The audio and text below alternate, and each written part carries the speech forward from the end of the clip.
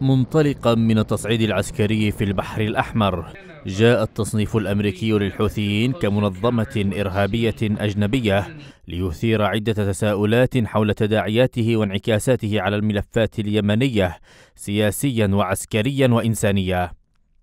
وعلى الرغم من كونه تصنيفا خاصا يتركز على تجميد أصول الأفراد والكيانات الداعمة للجماعة إلى جانب تضييق الخناق على التمويل المالي والاقتصادي لها إلا أن التصنيف يثير مخاوف دولية من انعكاساته على جهود السلام في وقت ينخرط فيه الحوثيون في مفاوضات ثنائية لإنهاء الأزمة مع السعودية إلى جانب تأثيراته المحتملة على الملف الإنساني.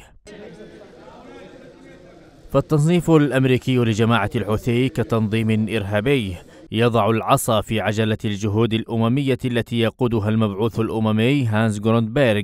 وهو ما أثار قلقه من تباطؤ وتيرة جهود السلام.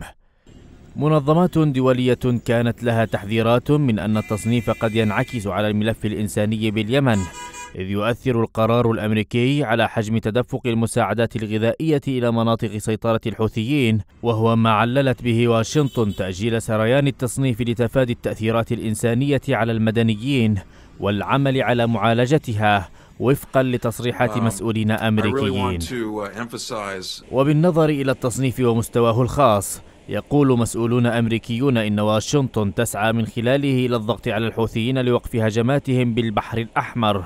وإضعاف قدراتهم المالية والعسكرية في إشارة إلى رغبة أمريكية في تحجيمها بحيث لا تتجاوز تأثيراتها الداخل اليمني ولا تتمكن من تشكيل تهديد محتمل للمصالح الأمريكية في المنطقة. الناطق باسم الحوثيين محمد عبد السلام قال إن قرار التصنيف يعكس جانبا من نفاق أمريكا وإنها تهدف من خلاله للإضرار باليمن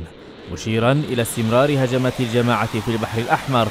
ما يضع تساؤلات حول مستقبل الصراع المحتدم في حواف المياه اليمنية وانعكاساته على مستقبل البلاد.